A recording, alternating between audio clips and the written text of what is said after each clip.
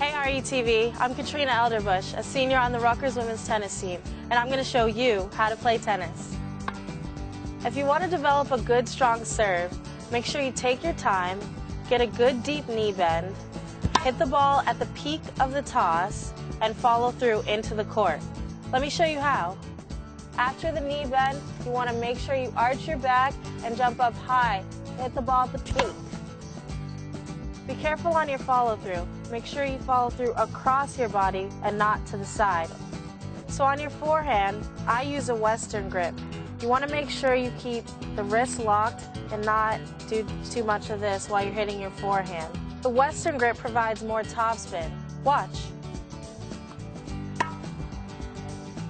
Footwork is very important in tennis, so for each stroke you want to make sure you're moving your feet and have fast, quick steps before each shot. Take a look. Now the backhand uses the same ideas as the forehand, but this time you have two hands on the racket. On the follow through, you want to make sure you're pushing through with your left hand.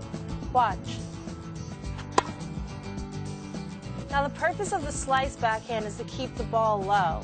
What you're doing on this is using underspin as opposed to topspin. You want to slice the ball and follow through all the way through the court.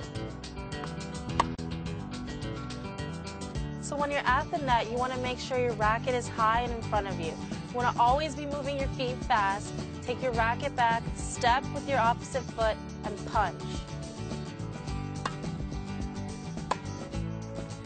I hope these tips have been helpful to you, but the biggest tip of all is just make sure you have fun out there.